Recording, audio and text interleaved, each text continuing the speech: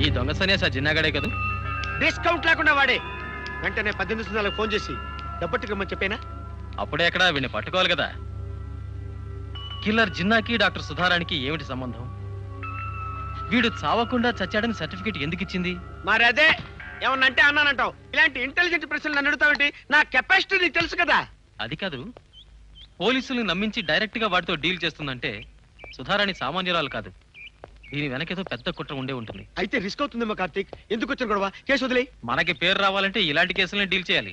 ఎలా చేస్తావు గురు? సుధారాణిని ప్రేమించి. సుధారాణి నువ్వు ప్రేమిస్తావు ఓకే. ఆవిడ నిన్ను ప్రేమించొద్దు. ఆవిడేంటి? మనం బీటేస్తే వాళ్ళ అమ్మమ్మ కూడా లైన్లోకి రావాల్సిందే. వస్తా. హలో ఈ ఫోటోలు ఏం చేయమంటావు? చూస్తూ కూర్చో. ఓకే. ఎవడేడు? అది చెప్తావని నిన్ను పిలిపించింది. ఈడెవడో నాకు తెలియదే అయితే వెంటనే వెళ్ళి తెలుసుకో. నేను నీ మరదల దగ్గరికి మారు వేషంలో వెళ్ళి ట్రీట్మెంట్ చేయించుకుని వస్తుంటే సడన్గా వచ్చి ఫోటోలు తీశాడు. అది ఆవిడ్నే తీశాడో ఆవిడ్ని అడ్డం పెట్టుకుని నన్నే తీశాడో వెంటనే తెలుసుకుని చెప్పు. I love you it's all right oh very good ఆడదంటే ఇలా ఉండాలి. Day duty night duty day duty Dasu.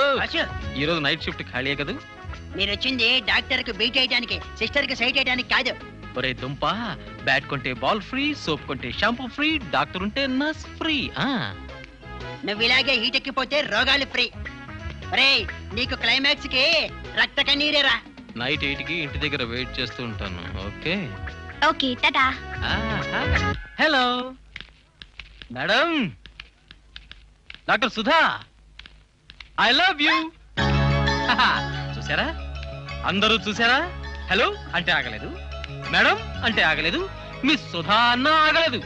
I love you అంటే ఆగారు అంటే నేను వద్దంటున్నా కూడా ప్రేమిస్తున్నారన్నమాట. మీకు చేతులెత్తి నమస్కారం చేస్తాను. దయచేసి నన్ను ప్రేమించకండి. ఏయ్ అసలు నీ ఉద్దేశం ఏమిటి? ఆ, నా ఉద్దేశం కాదు మేడం. మీ ఉద్దేశం చెప్తున్నాను. ఆ, నేను హీరోలా? మీరు హీరోయిన్లా? మీ స్టాఫ్ అంతా గ్రూప్ డాన్సర్స్ లా ఆ, ఊహించుకుని అలా.